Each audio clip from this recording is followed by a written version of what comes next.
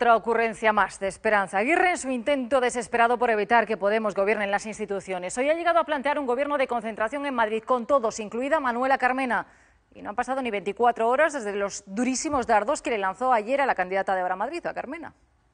Que por lo visto hay algunos que tienen prisa. Cuando parecía que Aguirre ya lo había dicho todo, Somos 37 concejales frente a 20. hoy convoca por sorpresa a la prensa para proponer otra solución. Un gobierno de concentración en el que estén todos, incluida la señora Carmena. Un gobierno de concentración en el que la formación de Carmena se comprometa a no convertir los distritos de la capital en soviets. De constituir soviets en los distritos eh, decaigan. La idea suena algo extraña por dos motivos. Uno, que en el programa de Ahora Madrid no hay referencia alguna a los soviets.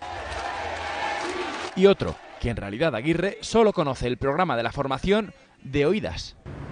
Yo confieso no haberme leído. En Ciudadanos la idea parece sensata. es mejor con Carmena que contra Carmena. O sea, yo no soy contra nadie. Entonces, a partir de y yo siempre eh, creo que en la mediación, en el entendimiento, salen beneficiados los madrileños. Pero hasta ahí los apoyos a la presidenta del PP madrileño. Antonio Miguel Carmona confiesa haber frenado en seco a Aguirre No la dejé terminar, le dije no taxativo, no contundente. Es decir, yo no voy a recibir ningún voto del Partido Popular. y Podemos, integrado en Ahora Madrid, Creo que lo que tiene que hacer la señora Aguirre es refugiarse en sus tierras, en sus posesiones y disfrutar de su jubilación. le ofrecen a Aguirre otra Yo solución. creo que Manuela Carmena... Ayer Aguirre quería evitar a toda costa que Carmena llegase al ayuntamiento.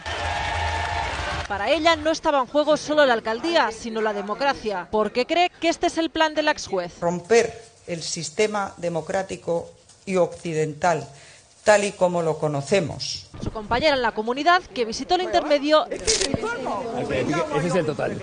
le llevaba la contraria. Lo han elegido los ciudadanos y todas las opciones que tenemos, y desde luego en Madrid todas son democráticas. Y Margallo hoy se sumaba a la defensa del ex juez. ningún partido de los que se han presentado a estas elecciones sea un peligro para la democracia y desde luego la señora Carmena no lo es. El único apoyo a Aguirre le ha venido de Rafael Hernando. No es que se lo invente la señora Aguirre, lo dice el señor Iglesias cada vez que puede. Pues sí, evidentemente la señora Carmena es una señora que procede del Partido Comunista y pertenece al partido del señor Iglesias.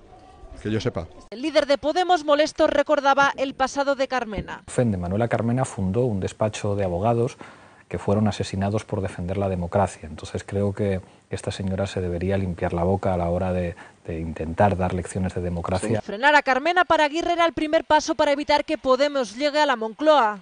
Trampolín para llegar a ser la primera fuerza a nivel nacional Y pedía a todos los partidos que reflexionasen para evitarlo.